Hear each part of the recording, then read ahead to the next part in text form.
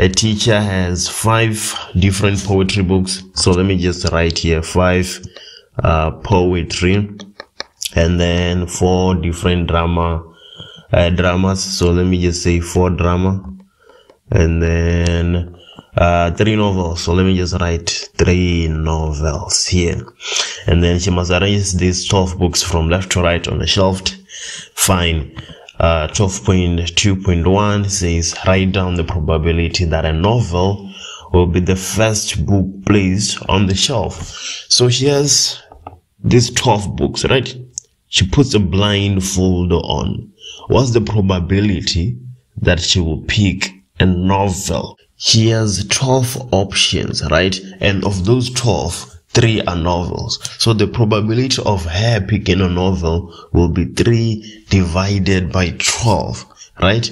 And then 12.2.2 says calculate the number of different ways uh, these 12 books can be placed on the shelf if any book can be placed in any position. So when she wants to pick uh, the first book, right, she has 12 options. And then when she want to pick the second book, she has 11 options, right?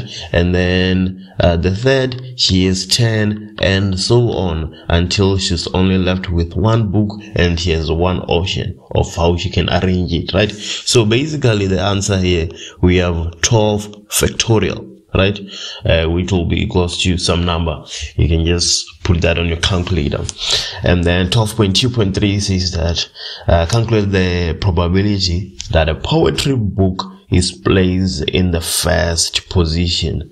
Uh, the three novels are placed next to each other and the drama is placed in the last position.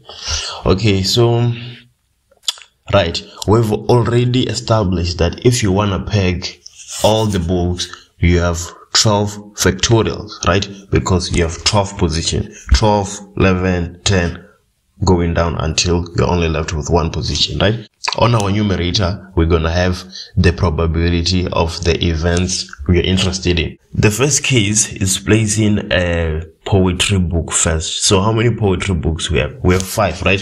So the probability here will be five because we have five poetry books. And then the next event says uh, three novels are placed next to each other. So how can you place three novels next to each other? You can place them in three factorial ways, right? So we're going to have multiplied by three factorial because you can start with the first one, start with the second one or the third one, and then the second position, so on. So we have three factorial ways of putting three novel books. And then the next case says a drama is placed in the last position, right? So we have four drama books, right? And then we want the probability of placing them in the last position.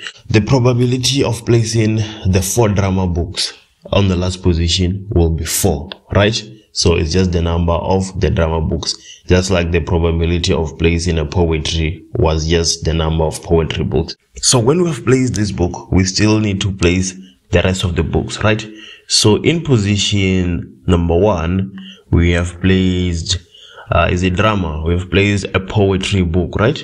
And then in position number 12, we have placed uh, what um, a drama book right so we have drama here so we're left with um, 10 positions here right of these 10 positions uh, we need three novels to be following each other right so we're gonna be left with basically seven position plus a bundle of three uh, novels that we need to be placed uh, next to each other, right? So how can we fill these eight positions that are left, right?